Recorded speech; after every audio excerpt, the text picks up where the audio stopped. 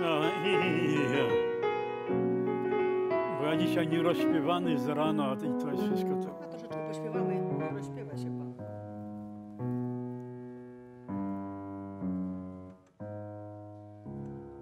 Ty mnie znasz z tamtych lat. Dziś już jest 87. Kiedyś myśmy wszyscy ładnie śpiewali. To jeszcze się rozśpiewajcie, troszkę pośpiewajcie, jak jest okazja, no. Pan ma moją tą płytę? A mam, oczywiście, że mam. Słucham w samochodzie sobie. Tych płyt mam i nie wiem co z tym robić. Tmie tajica Nad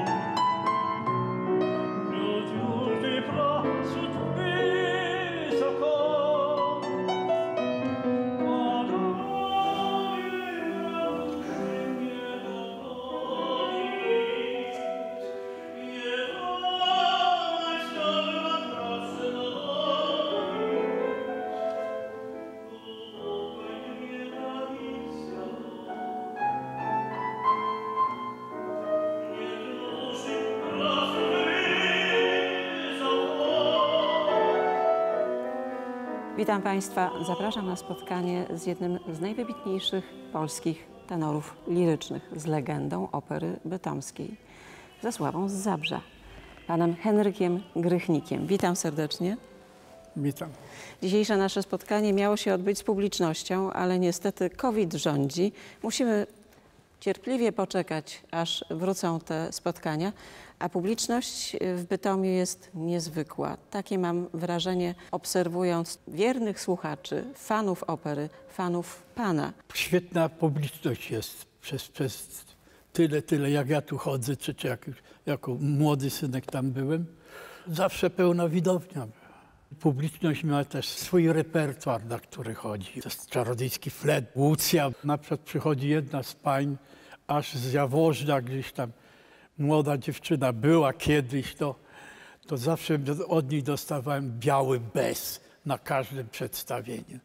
I teraz przyjeżdża, też ją spotykam czasem. Są stali bywalcy tutaj.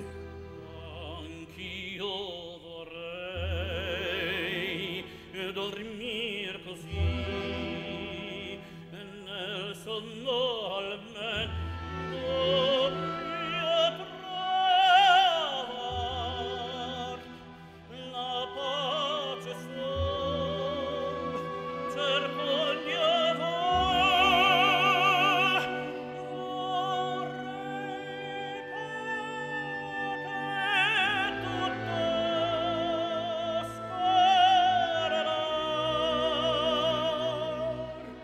Zaczęło się od czegoś zupełnie innego. Najpierw był sport.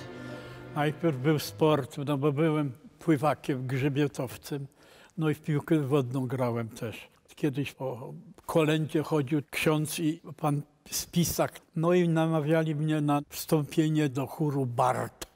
Był w Zabrze po- potężny chór męski, który zbierał się na święta. Śpiewaliśmy w wszystkich kościołach kolendy. I potem trafiłem do, do Słuchamy jakieś tam młode talenty i to w, w Zabrzu. I śpiewałem piękną pieśń barytonową. Był pan kapitan dzielny chwat, który zwiedził cały świat. Barytonową. Tak, tak. No i, i tak skierowali mnie do szkoły muzycznej. Ale pokochał pan to od razu? Od razu się pan poczuł śpiewakiem? Nie, od nie. razu pan wszedł na scenę i poczuł, że może nie, zawojować nie, nie, świat? tylko, że miałem głos.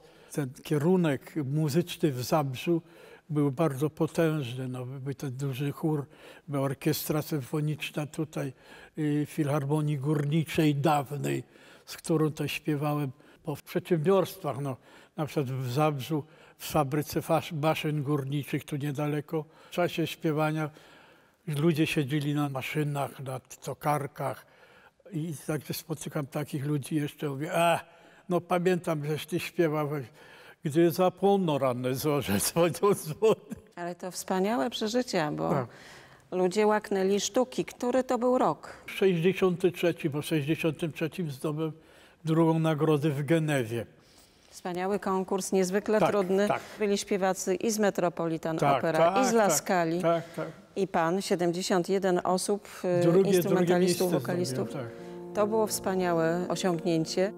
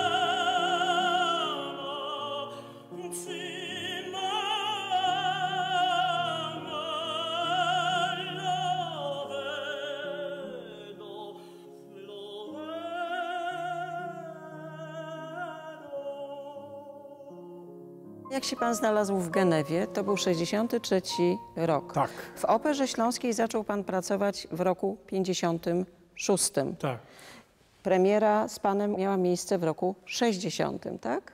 tak. Y, To była Łucja z Lammermoor, Tak, prawda? tak, tak. A wcześniej debiutował pan jeszcze w Krakowie. W Krakowie w Oniginie, bo byłem w Krakowie y, w chórze y, radiowym i stamtąd poszedłem do opery krakowskiej. Tam śpiewałem Leńskiego w Oniginie i stamtąd dopiero potem do Śląskiej. Dyrektor Ormicki w ten czas był i zaangażowali mnie tutaj.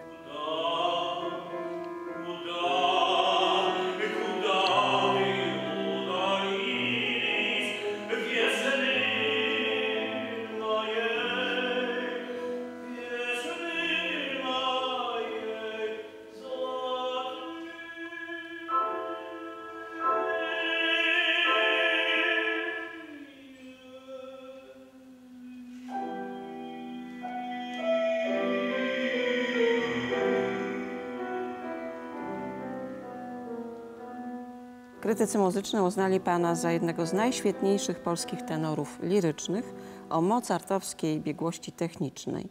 Zasłynął pan jako wybitny wykonawca oper Wolfganga Amadeusza Mozarta, Giacchino Rossiniego i Gaetano Donizettiego. Jak to było w czasach, kiedy był pan za granicą? W latach 68-70 był pan solistą opery w Zurichu. Tak, To był trudny czas, łatwy czas? Trudny czas. Opera w Zurichu miała tylko solistów angażowanych no, do pewnych partii. Otwierałem festiwal operowy y, w Zurichu partią właśnie Tamina y, z czardyjskiego fletu. No i potem tam śpiewałem i uprowadzenie Seraju, tam śpiewałem Dworzaka, Rusałkę, dużo pozycji takich li- lirycznych. Z tym, że ja zawsze pilnowałem, nigdy nie śpiewałem dramatycznych partii, bo uważałem, że jestem tenorem lirycznym i swój repertuar tylko śpiewałem. Hej, piórkami się winoce, kiedy krew czerwoną!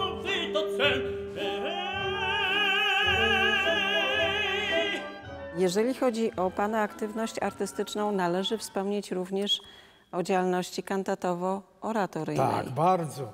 Śpiewałem jako jedyny, pierwszy i wszystkie utwory Pendereckiego Krzysztofa. Cały świat z Pendereckim zjechałem. Czy pamięta Pan wskazówki Pendereckiego?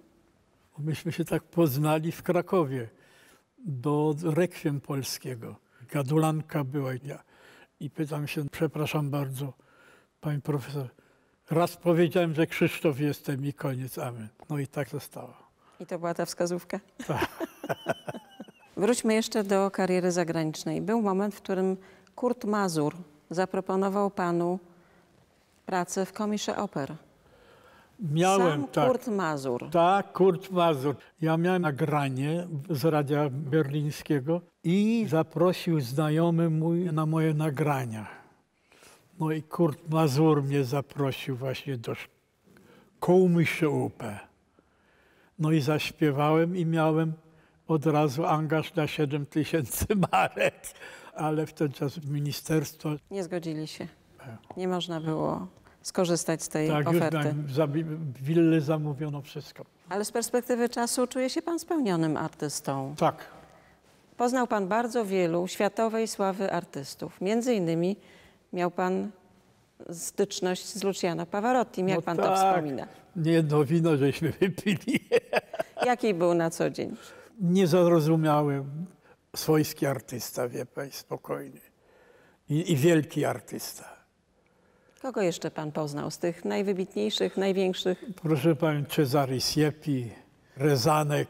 Przez Zurich to się przewijały, bo oni mieli tylko w repertuarze pewne przedstawienia wystawić pod daną artystkę czy artysty. Czy odczuwał Pan tremę? No, trochę tak. Jak się już wyskoczyło, któregoś dnia w Zurichu z tyłu był ciemny, czardyjski flet i wyskakuje e, e, ta, Tamino. Zu Hilfe, zu Hilfe, sonst bin ich verloren. I ja wpadam na ten tam przez kabel i łubu, jak trzepnąłem. Szybko się pozbierałem. Prawdziwe to w ten czas było. Na pomoc, na Autentyczne, pomoc. tak jest. Tak, bin ich verloren. Trema mobilizująca czy paraliżująca? Mobilizująca. tak. Szybko się pan uczył tekstu? Szybko Tak. się pan uczył muzyki? Bywało tak, że ja normalnie w pociągu się dużo, bo ciągle do Warszawy i to z powrotem, to w pociągu się człowiek dużo uczył. Najtrudniejsza opera? W sensie muzycznym, artystycznym? Uprowadzenie seraju. Cyganeria, cyganerię śpiewałem tylko w Staatsoper w Berlinie. Nie krążą, nie piękności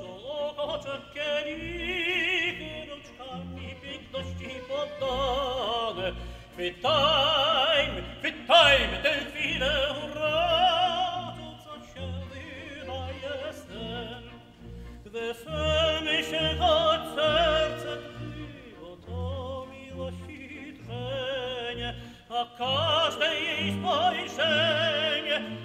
zostanie wiecznie w nim.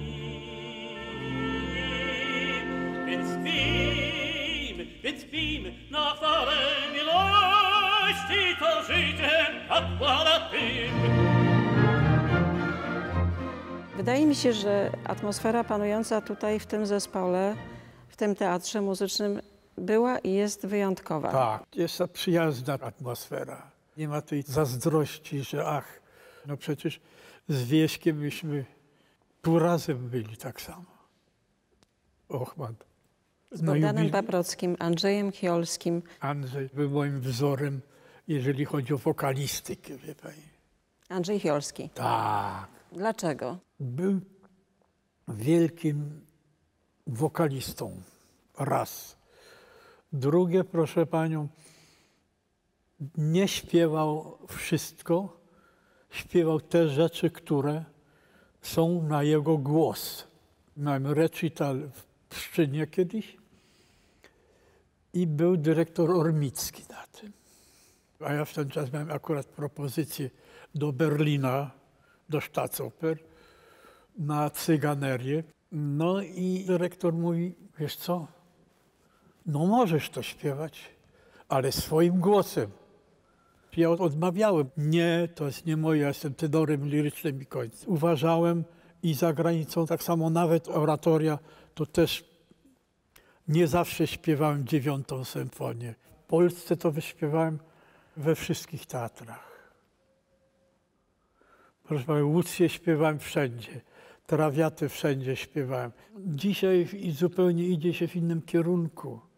Robi się straszny dwór albo trawiaty no, w garniturach. Trzeba zachować epokę daną, kiedy został ten utwór napisany. A jeżeli chodzi o spektakle, które ostatnio pan widział na deskach Opery Śląskiej. Romeo i Julia, Tak, ciekawe, bardzo ciekawe. Znakomite przedstawienie. w reżyserii Michała Znanieckiego. No i znakomici wokaliści. Dobrze, bo, bo się pojawił tenor o dobrej prezencji, o dobrym materiale głosowym. Andrzej Lampert. Tak.